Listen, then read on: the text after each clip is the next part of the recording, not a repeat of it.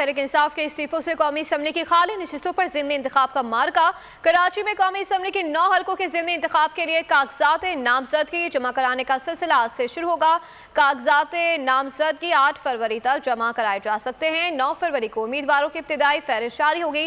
कागजात की जाँच पड़ताल तेरह को की जाएगी। बाईस फरवरी तक उम्मीदवार दस्तबरदार हो गए और हतमी फहरिस्त जारी होगी। तेईस फरवरी को उम्मीदवारों को इंतब निशानात अलॉट होंगे। जिम्मे इंतबात के लिए पोलिंग 16 मार्च को होगी। अगर आपको हमारी ये वीडियो पसंद आई है तो लाइक पर क्लिक कीजिए। खूने नाहक बहुत पी चुकी ये ज़मीन। अब कोई दिन में ये खून उगलने को है।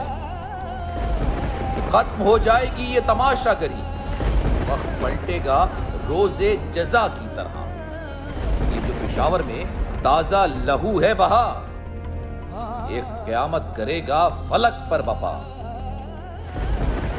गम की सलमनाक घड़ी में, बोल सान है पिशावर में शहीद होने वालों के लवाहिकीन के साथ। सब्सक्राइब करें और बेल दबाएँ ताकि कोई खबर रह न जाए।